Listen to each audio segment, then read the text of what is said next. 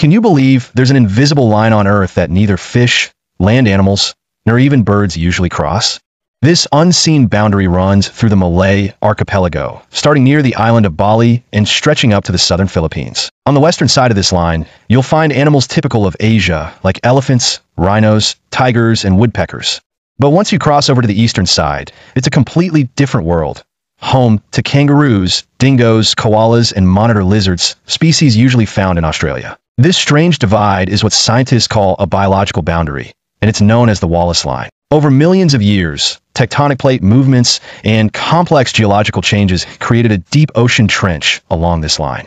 This trench acted as a barrier, preventing animals from migrating between the two sides. As a result, evolution took separate paths in each region. Even birds and fish, which can normally travel long distances, rarely cross this boundary because they adapted specifically to their own ecosystems.